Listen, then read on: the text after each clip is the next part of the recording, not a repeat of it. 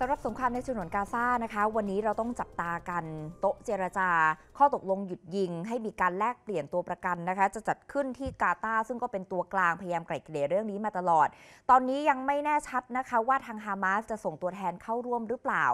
อีกด้านหนึ่งค่ะมีความเคลื่อนไหวของประธานาธิบดีเรเจปทายยิปเออร์ดวนนะคะผู้นำตุรกีที่ออกมา บอกว่าจะกดดันอิสราเอลต่อไปนะคะเพื่อให้เกิดสันติภาพอย่างยั่งยืนในฉนวนกาซาให้ได้ ซึ่งทางมาห์มูดอับบาส ประธานาธิบดีปาเลสไตน์นะคะ เมื่อวานนี้ค่ะได้เริ่มต้นภารกิจในการเยือนกรุงอังการา ซึ่งเป็นเมืองหลวงของตุรกี และได้พบปะกับประธานาธิบดีเรเจปทายยิปเออร์ดวน เพื่อหารือเกี่ยวกับสถานการณ์ในฉนวนกาซาและการสร้างสันติภาพอย่างยั่งยืน เออร์ดวนเขาประณามการปฏิบัติการทางทหารของอิสราเอลที่เกิดขึ้นอย่างต่อเนื่องในฉนวนกาซา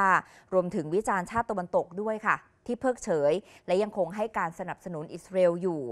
อย่างไรก็ตามผู้นำตุรกียืนยันว่าจะเดินหน้าเรียกร้องให้นานาประเทศ เพิ่มแรงกดดันต่ออิสราเอลและผลักดันให้ทุกประเทศ โดยเฉพาะโลกมุสลิม ยกระดับการผลักดันข้อตกลงหยุดยิงให้เกิดขึ้นทันที รวมไปถึงให้ความช่วยเหลือด้านมนุษยธรรมต่อชาวปาเลสไตน์นะคะ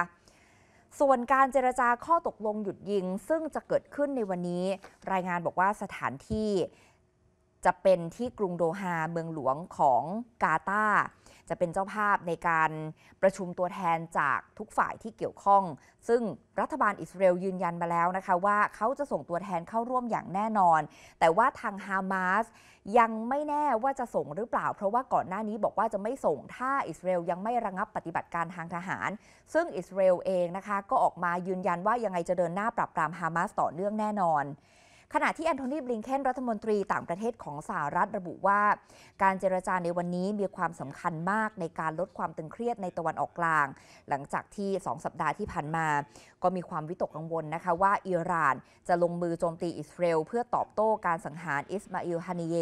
ผู้นำฝ่ายการเมืองของกลุ่มฮามาส ซึ่งเกิดขึ้นตั้งแต่ 31 กรกฎาคม ในกรุงเตหะราน อิหร่านจะลงมือเมื่อไหร่ ขณะเดียวกันถ้าจำได้เมื่อวานนี้นะประธานาธิบดีโจไบเดนผู้นำสหรัฐออกมาบอกว่า ถ้ามีการเจรจาข้อตกลงหยุดยิง บรรลุผลอิหร่านก็คงจะไม่ก่อเหตุโจมตีอิสราเอลด้วยค่ะ